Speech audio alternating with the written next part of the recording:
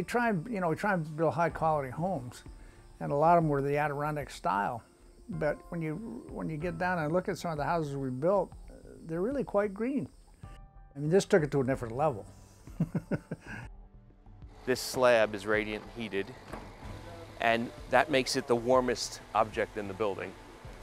So um, not only do we uh, insulate um, uh, highly underneath it, but this edge is extremely important because this edge kind of is exposed to the outside.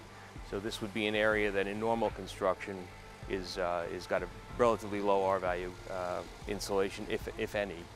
And here we have uh, seven inches of rigid insulation, about R40 plus.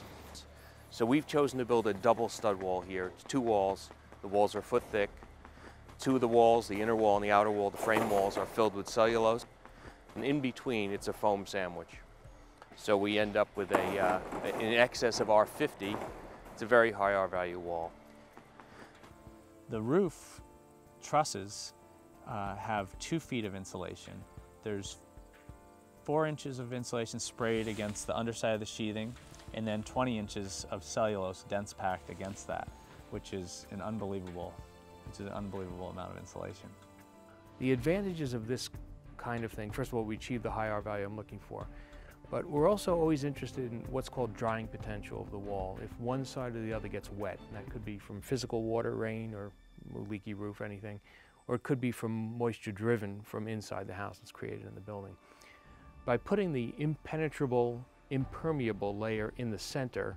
The outer wall has drying potential to the outside. The inner wall has drying potential to the inside. So it creates a wall. It's very, very difficult for it to fail. It doesn't really have a what's called a dew point. There's no place for moisture to condense in the wall. The outermost layer is the shingles that you see. Behind that, there's a little bit of an air space uh, that's created to help, help that breathe, and that's a durability factor so the shingles will last a long time, be able to dry, have longevity. Behind the shingles are the zip wall. And what that zip wall system is, is it replaces what often uh, historically, and even not that long ago, we'd use tar paper uh, and or Tyvek as the, or you know house wrap. It's really critical that we seal up the air, and the way we're doing that on the outside of the house, on the zip wall, is we tape all the plywood joints and we tape that down to the plate of the house that's on the foundation. And then we tape that up to the soffit and then the roof. So we have a very continuous barrier. I mean, we always thought we were building a tight house, and we did. We built tight houses, but nah, this, we learned a lot of things here about making it even tighter. We've done several blower door tests which tests the air tightness of the envelope and that's incorporated into the energy calculations. You pressurize the house basically and then that, uh, because of the difference in atmospheric pressures between outside and inside, if you smoke, if you set off a smoke bomb in a house, if you see smoke coming out, you know you've got a, some kind of leakage there. That means you're going to leak heat. You're going to lose heat. So you've got to find that problem and fix it.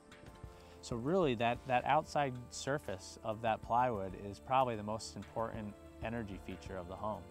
And that was an aspect that we had to really coordinate with all the trades is right away the electrician, the plumber, everybody knew anything that had to go through the, that eventually had to be on the outside of the house, had to happen now.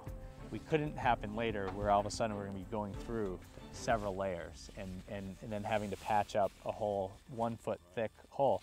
We need to have the spigots going out, we need to tape around them while we have access. We have to foam around them when we have access. A lot of attention to detail you wouldn't normally do in a normal construction. Uh, you know, caulking plates and doing sealing different things and stuff like that. I had them. I had them even caulk all the joints where we had double two by fours and stuff like that. So it's pretty tight.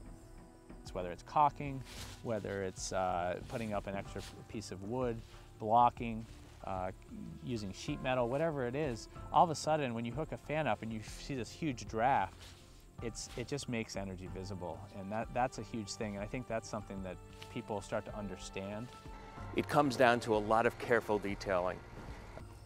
Like the insulating and, and creating a wall that breathes when it's that thick and that insulated. You know, we learned things there. The zip guard, which is the sheathing on this building, is a very interesting thing.